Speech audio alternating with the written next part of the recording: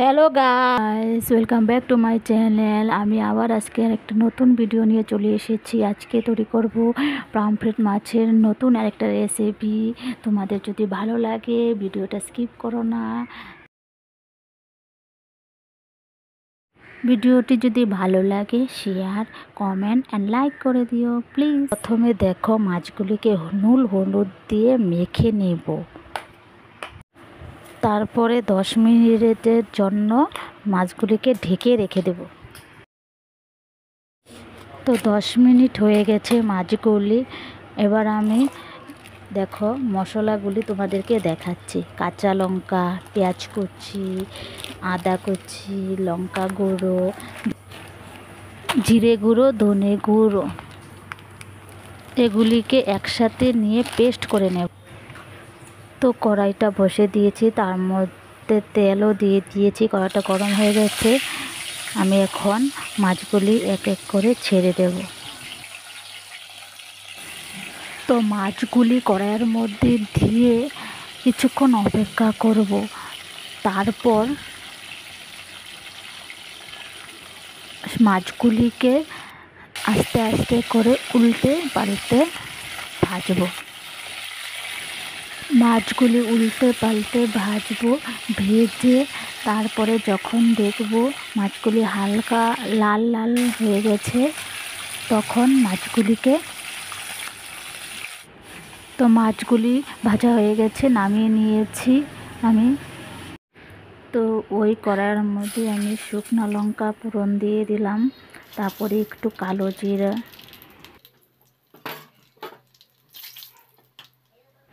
তো তারপরে একটু পেঁয়াজ কুচি দিয়ে দিব। তার তো পেঁয়াজগুলিকে লাল লাল করে ভেজে নিয়ে তার মধ্যে আমি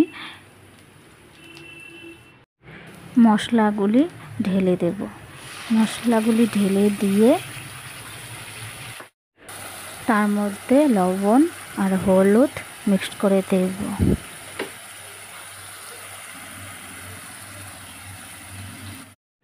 মশলাগুলোকে এইভাবে নেড়ে চেড়ে কষিয়ে নিব। যখন মশলাগুলি তেল ছেড়ে দেবে, তখন আমি মশলাতে ঝোল দিয়ে দেব।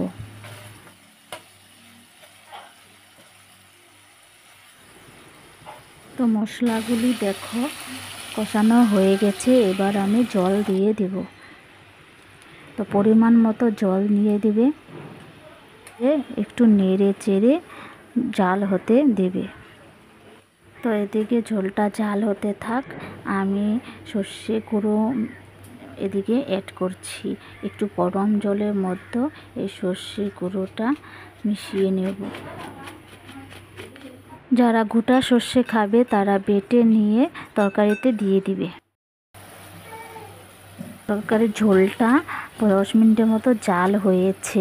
তো এখন আমি মাছগুলি একে একে দিয়ে দেব। মাছগুলি দিয়ে তারপরে আমি একটু হালকা করে ঢেকে দিব আরও পাঁচ, দশ পাঁচ, ছয় মিনিটের জন্য। তারপরে ঢাকনাটা খুলে আমি তার মধ্যে সর্ষে যে পেস্টটা ছিল সেটা অ্যাড করে দেব। সেটা দিয়ে একটু ঢেকে দিয়ে তারপরে দু তিন মিনিট পরে নামিয়ে দেব। এই দেখো আমি নামিয়ে ফেলেছি আমার তরকারি রেডি দেখলেই মনে হচ্ছে না, খেতে ইচ্ছে করছে একটু গরম ভাতের সঙ্গে। তো আমি তরকারিটা গরম গরম ভাত দিয়ে সার্ভ করে দিচ্ছি। এই রেসিপিটি যদি ভালো লাগে তো সাবস্ক্রাইব করার জন্য অনুরোধ রইল আর লাইক কমেন্ট শেয়ার করে দিও প্লিজ